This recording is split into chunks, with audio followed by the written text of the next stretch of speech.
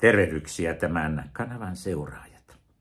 Sisäministeri Mikkoselle on nyt tämmöinen toimikunta antanut mietintönsä. Eli nyt puhutaan reservipoliisista.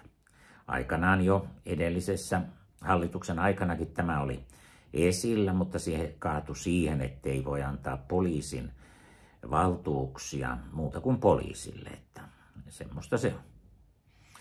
No, joka tapauksessa tämä koko keskustelu on käyty Amerikassa ja muuallakin, missä näitä on esimerkiksi näitä naapurustovalvontajärjestelmiä, eli että porukat kulkee ja katsoo ja havainnoi. Siis koska se toimii, mutta ihmiset haluaa olla laiskoja ja sitten ajatellaan, että poliisin pitää hoitaa, meillä on hyvä poliisia. Silloin. Meidän poliisiresurssit on aivan puutteelliset. Se vaati sitten, että poliisin resursseja kasvatettaisiin ihan rajusti. Mutta joka tapauksessa niin nyt puhuttiin näistä reservipoliiseista ja niiden kouluttamisesta ja oliko se 2,2 miljoonaa peräti pitäisi laittaa rahaa, että se perustetaan se systeemi. Meillä on huippunsa koulutettuja, hienoja sotilaspoliisia, niin naisia kuin miehiäkin he, heidän kouluttamisensa nyt ei vaadi oikeastaan mitään. Heitä on kertausharjoitettukin ja he ovat ihan varmasti kykeneviä toimimaan poliisin tehtävissä. Tämä on ihan naurettavaa. Siis he harjoittavat, ovat poliiseina semmoisen 6 tai 12 kuukautta. Siis he saavat niin oikein perusteellisen poliisikoulutuksen ja osa heistähän on siis myöskin poliiseja siviilissä. Mutta joka tapauksessa meillä on myös eläkkeellä olevia poliiseja. Meillä on siis poliisireserviä olisi iso määrä. Mutta koska tässä on tämmöinen vihervasemmiston, tai sanotaan vasemmiston vanha kauna, että poliisit on jotenkin oikeistolaisia. No nyt he ovat kaapanneet valtion hallinnon tässä vuosikymmenien aikana vasemmisto niin, että kyllä siellä johdossa taitaa olla joka puolella vähän vasemmistoa. Vähemmän siellä mitään enää oikeistoa on jäljelläkään. Joka tapauksessa niin se tilanne on se, että me tarvitaan lisää, lisää tuota, niin poliiseja kuin kokonaan ihan uudenlainen ajattelu siihen, että meillä olisi kriisivalmiutta. Ajatelkaa, kaiken tämän keskellä ne vaan panee jotakin komiteoita miettimään, eikä tee mitään. Onko tämä omasta kansasta välittämistä? Onko tämä hallituksen oleminen? Siis ystävät hyvät, jos tämä hallitus jatkaa, niin me ainakin tiedämme, että mitä hyvää siitä ei seuraa. Ja me olemme nyt tämän hallituksen myötä joutuneet koko ajan kriisistä ja töppäyksestä toiseen. On se mielenkiintoista tosiaan, että kaikki unohdetaan, että siis se pandemian hoito oli täynnä töppäyksiä nimenomaan hallituksen taholta ja virkamiesten taholta. Ja niitä ei, ne on kaikki unohdettu ja kaikki menikin ihan täydellisesti ja hienosti. Vaikka siis ohjeet tuli siis sieltä näiltä sairaanhoitoviranomaisilta. Siinä ne viranomaiset ainakin sitten toimi tehokkaasti. Mutta nyt me ajatellaan sitä, että meillä olisi tarve, siis meillä on katuväki, meillä on kaikkea, niin nyt pelätään sitä, että asioihin oikeasti puututaan. Nämä hommat on karkaamassa käsistä, se katuväkivalta. Turha siinä on siivi, tuota, ne vinoilee sillä, nämä korkeatkin poliisiviranomaiset, jotka kuuluu vihervasemmistoon, että ei ne täytä jengin vaatimo, määritelmää nämä katujengit, että kun niille ei ole niitä jengitunnuksia ja tämmöisiä.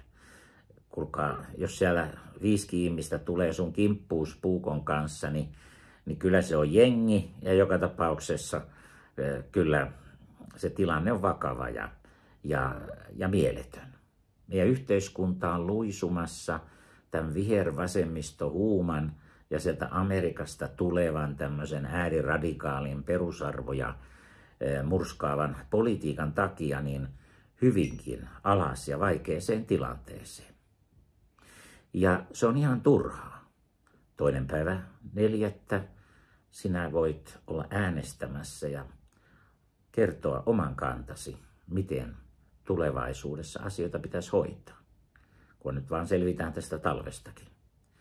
Tämmöinen maailma meillä on ja peruksena on ihmisen ääretön itsekkyys ja halu tukea samalla lailla ajattelevia ja muokata monet toiset samalla lailla ajattelessa. Puhutaan tästä pilkallisesti jostakin tämmöistä lähetystyöstä, mutta sitähän nämä puolueet tekee. Vihervasemmisto tekee kauheasti tämmöistä opetuslapseuttamistyötä, että ihmiset oppii ajattelemaan niin kuin he haluavat heidän ajattelevan.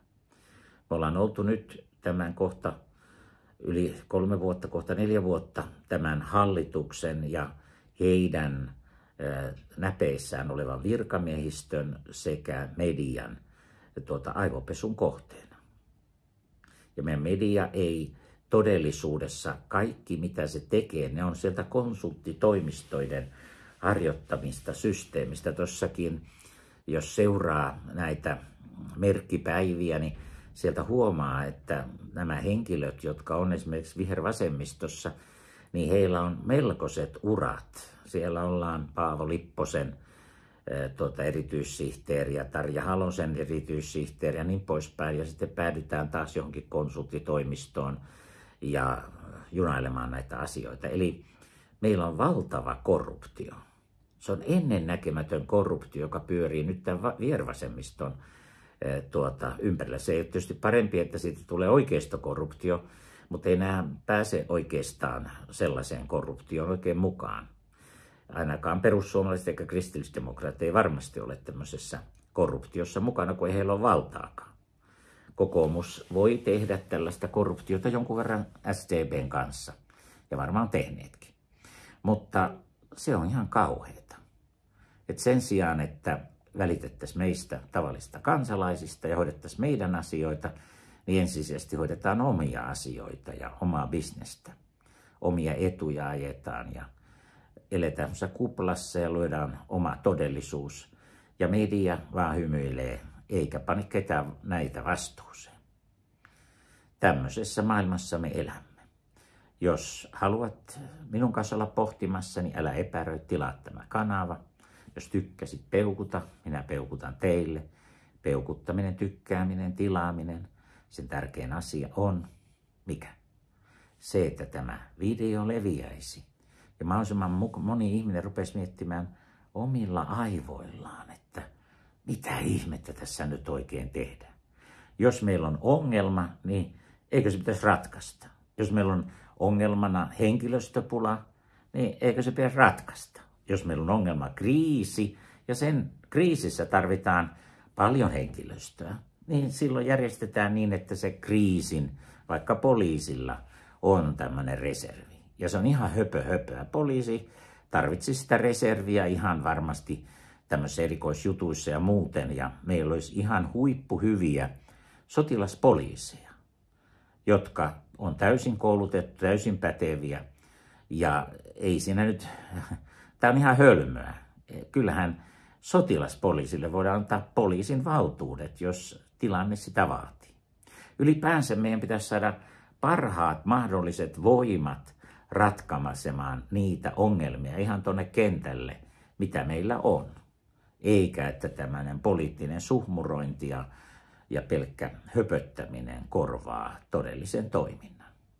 Se on kaikkialla tämä sama lainalaisuus.